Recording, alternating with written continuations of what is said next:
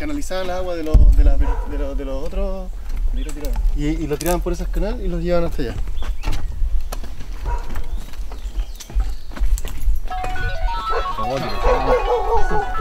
Se lo voy a pagar.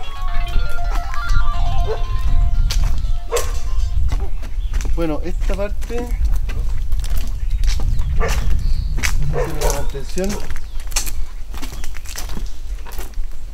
Si no te fijas, Marco, eh, la idea mía aquí, eso lo conversé con, con, con Gabriela, es eh, poner los, los trazados, las lienzas, tal como se hace, dejarlos puestos y después en este sector poner eh, una malla para evitar que se metan las hojas, o sea que con el viento no se, no se, digamos, se metan adentro las hojas y no se ensucie. ¿Un acrílico?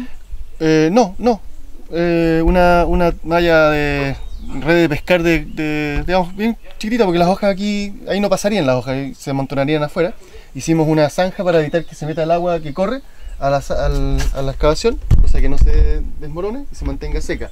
Y por eso está el techo, que evita que, digamos, que el agua caiga directamente y se mantenga la excavación tal como, como quedó después de- del trabajo arqueológico. ¿Mm? Entonces hay varias cosas que tenemos que... Y la infografía va a ir acá atrás. La que ustedes estaban viendo recién va a ir ahí. Entonces, ¿qué pasa? Yo estoy aquí y puedo ver la excavación, veo la información, el proceso, veo la misma, el mismo sector donde se está haciendo la, eh, la explicación gráfica, ¿no es cierto? Y tengo la visión de, en vivo de lo que, de lo que hay. Esa es un poco la idea. Entonces la, la gráfica va a ir ahí, son 3 metros. Donde yo puedo leer, ver y puedo observar lo que pasa acá abajo.